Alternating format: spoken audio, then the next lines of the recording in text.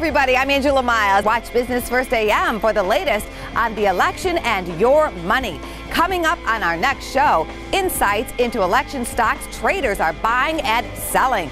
Plus, investment strategies big time portfolio managers are using and how you can too. Catch Business First AM weekday mornings right here as we report on stocks, commodities, and options straight from the trading floor. Wake up, America. It's time to vote and get down to business.